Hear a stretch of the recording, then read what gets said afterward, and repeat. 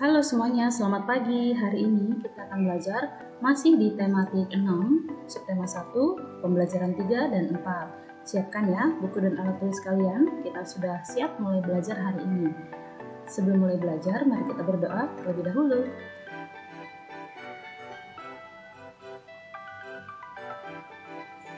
Oke, mari kita mulai pembelajaran kita hari ini.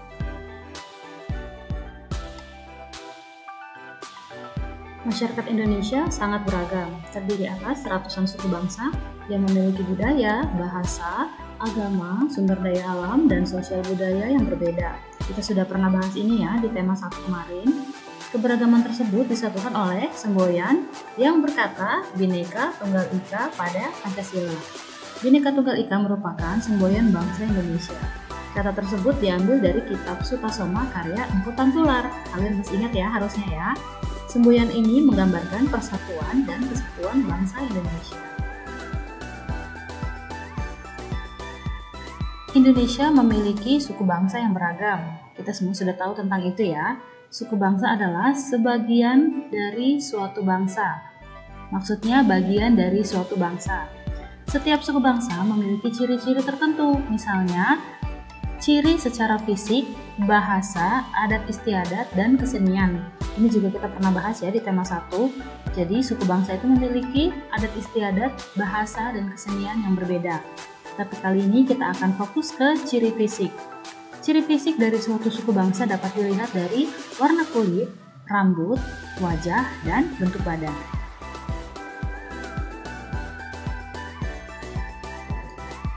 Berikut ini keberagaman suku bangsa yang ada di Indonesia. Ini sudah tulis pulau-pulau yang ada di Indonesia, yaitu ada Sumatera, Kalimantan, Jawa, Sulawesi, Nusa Tenggara, Maluku, dan Papua. Mari kita perhatikan ciri-ciri fisik dan suku bangsa yang mendiami pulau-pulau ini. Yang pertama, ciri fisik masyarakat Sumatera. Tubuhnya kecil, kulit sawo matang, dan rambut berombak. Suku bangsa yang mendiaminya yaitu suku Gayo, Batak, Mandailing, Nias, Minangkabau, dan Mentawai.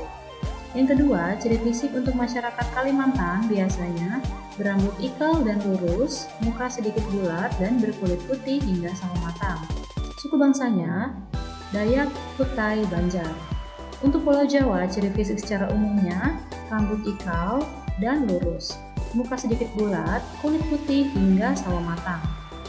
Suku bangsa untuk Pulau Jawa ini Sunda, Jawa, Tengger, Madura, Betawi, dan Baduy. Sementara untuk ciri fisik di Sulawesi, rambut keriting dan lurus, muka sedikit lonjong dan berkulit sawo matang. Untuk suku bangsanya, Bugis, Makassar, Mandar, Toraja, Mongondo.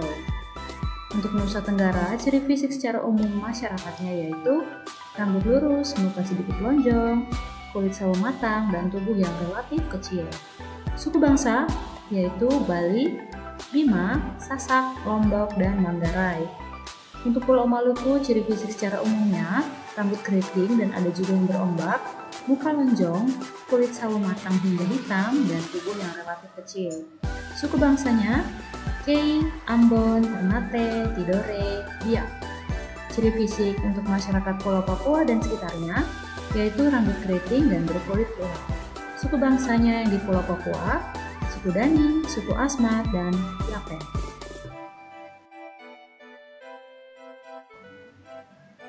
Kalau kita bicara tentang ciri fisik, berarti kita juga bicara tentang ras. Apa itu ras? Ras adalah suatu sistem pengelompokan atau penggolongan manusia yang ada di muka bumi ini berdasarkan ciri-ciri fisik secara umum. Nah, jadi ada ciri-ciri khusus di Indonesia adalah suku-sukunya ya. Tapi secara mendunia itu dikelompokkan lagi menjadi satu ras. Sekarang kita bahas beberapa ras yang ada di Indonesia antara lain ada ras Malayan Mongoloid, ras Melanosoid, ras Asiatik Mongoloid, dan yang terakhir ras Kaukasoid.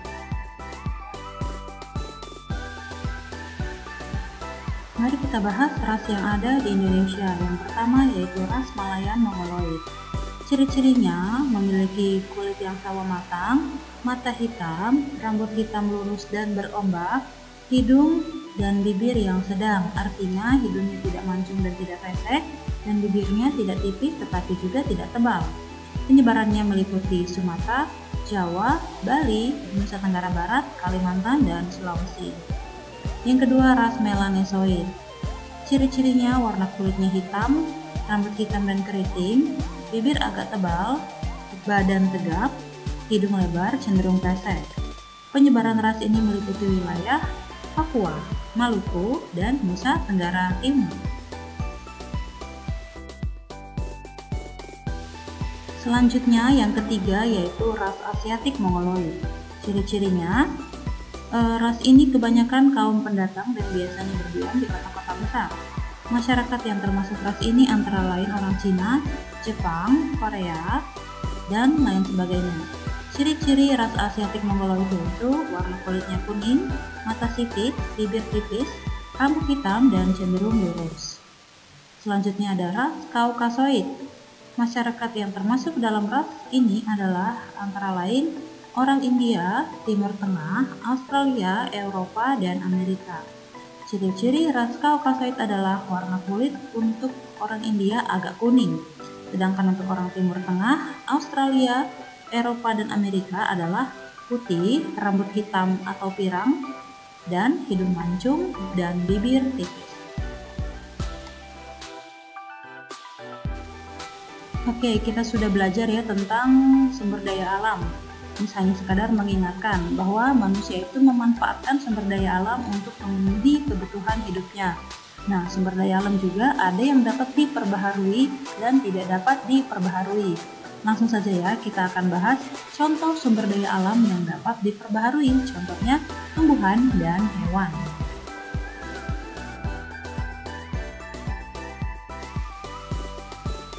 Kita akan bahas yang tumbuhan terlebih dahulu ya.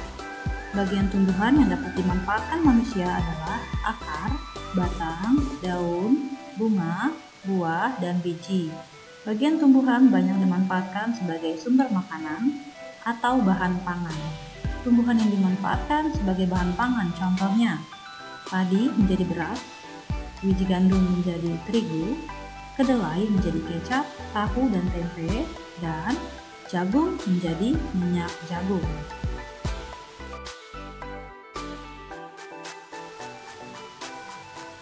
Oke, kita lihat yang selanjutnya, yang kedua yaitu bahan sandang. Tumbuhan yang dimanfaatkan sebagai bahan sandang adalah kapak yang dapat dirajut menjadi kain katun, jadi bisa dipakai sebagai pakaian. Yang ketiga yaitu peralatan rumah tangga.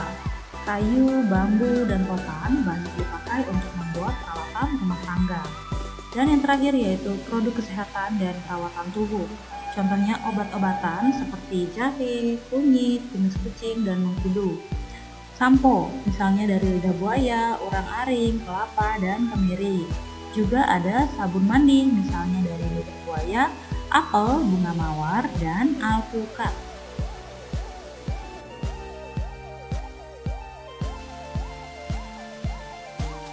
Berikutnya yaitu hewan. Bagian hewan yang dapat dimanfaatkan yaitu daging, susu, kulit, telur, dan bulu hewan. Bahan pangan yang berasal dari hewan antara lain ada susu yang berasal dari sapi dan kambing, Lalu ada daging yang berasal dari ayam, sapi, kambing, dan ikan. Dan telur yang berasal dari ayam, bebek, dan burung puyuh. Semuanya, apakah kalian suka susu, daging, dan telur? Ini semua mempunyai protein yang tinggi ya, jadi kalian uh, harus makan ini secara teratur. Bahan sandang yang memanfaatkan bagian tubuh hewan antara lain, yang pertama ada kain sutra dari ulat sutra, kain wol dari domba, dan jaket, sepatu, tas, ikat pinggang dari kulit hewan.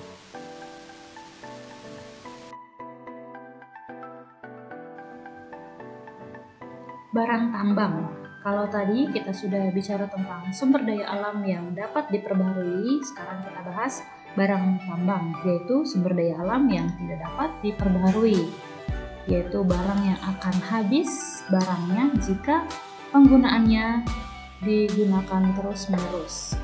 Ya, kita bahas ada tiga di sini. Yang pertama yaitu barang tambang sumber energi, ada minyak bumi, gas alam, dan batu bara. Yang kedua, logam. berupa tembaga, bauksit, besi, timah, dan emas. Dan yang terakhir barang tambang industri ada kapur dan asbes.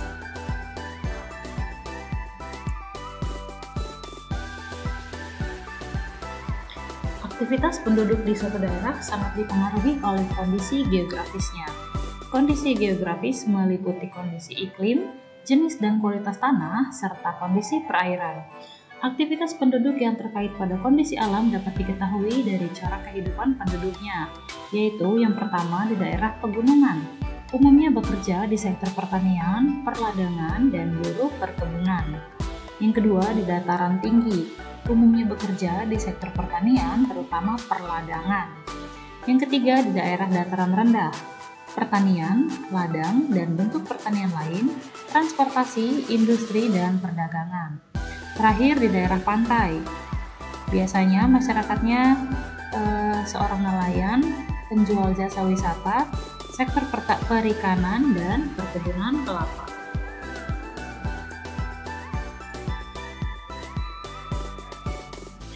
pegunungan. Kita sudah pernah bahas ini ya di semester 1 kemarin. Tapi mari kita pelajari kembali, kita mengingat kembali pelajaran ini, kita ulas lagi ya. Pegunungan itu merupakan deretan atau rangkaian gunung yang memiliki ketinggian 500 meter di atas permukaan laut. Di daerah pegunungan ini biasanya masyarakatnya adalah petani ya, bekerja sebagai petani.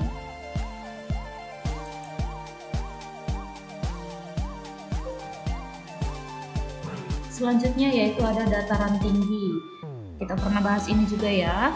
Dataran tinggi adalah dataran yang memiliki ketinggian antara 700 sampai 800 meter di permukaan laut.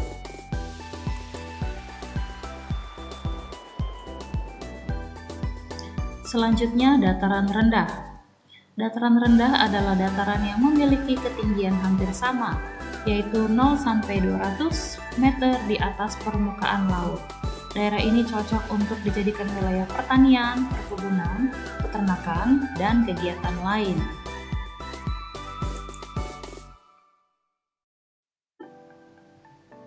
Yang terakhir yaitu daerah pantai. Ya, Miss akan bacakan secara singkat saja ya intinya. Pantai adalah bagian daratan yang berbatasan dengan laut. Sebagian besar penduduk bekerja sebagai nelayan. Jelas ya, karena e, dekat dengan laut, jadi mata pencahariannya adalah mencari ikan atau nelayan.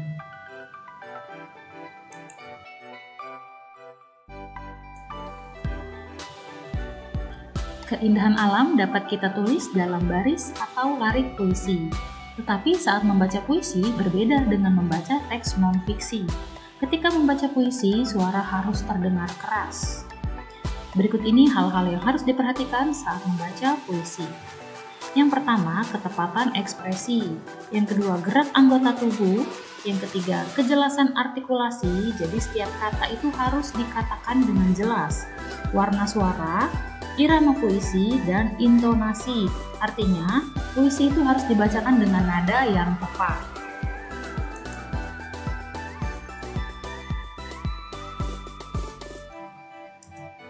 Banyak puisi yang ditulis oleh pengarangnya untuk mengungkapkan isi hati pengarang tersebut. Jika mengetahui makna puisi, kita akan lebih mudah untuk membacakan dengan ekspresi dan gerakan yang sesuai. Bagaimana caranya mengetahui makna dalam puisi?